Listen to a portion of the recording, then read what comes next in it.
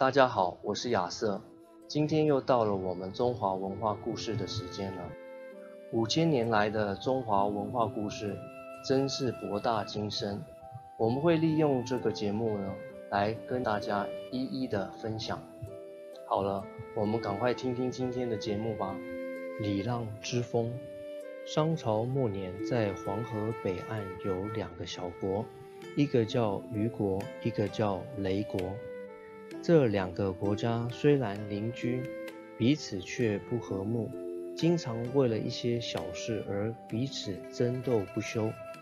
有一次，虞国和诔国为了争夺两国之间的一块土地，又争吵起来。雷国国君便对虞国国君说。我听说西方有一个名叫周的国家，他的君主西伯，也就是后来的周文王，是个贤能而仁德的人。我们去请他评评理，看看这块土地该是谁的。虞国国君同意了，两人便一同出发，来到周国。走着走着。他们发现路旁居民们所耕耘的田地，家家户户都在自己的田地里四周留下一段空地，不去种植。